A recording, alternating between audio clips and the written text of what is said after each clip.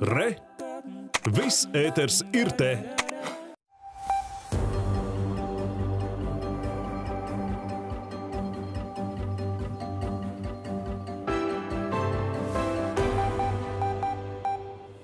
Labrīt, šorīt Latvijā neliels mākoņu daudzums vietām, valsts austrumos pavisam nedaudz līst valdošais mērens, dienvidu rietumvējš siltāks. Šis rīts ir kurzemes piekrastē, kur pat laban gaisa temperatūra plus 14, plus 15.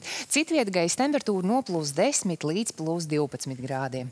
Dienas laikā daudz vietas starp mākoņiem uzspīdēs sauli, tomēr pēcpusdienā ir gaidāms vietām arī īslaicīgs lietus, tāpat iespējams arī pērkona negais. Kopumā valdošais būs mērens, dienvidu rietumvējš, kas negaisa laikā var kļūt kļūt brāzmains. Dienā gaisa temperatūra būs robežās no plus 18 līdz plus 20 vietām valsts vidienē līdz plus 22 grādiem.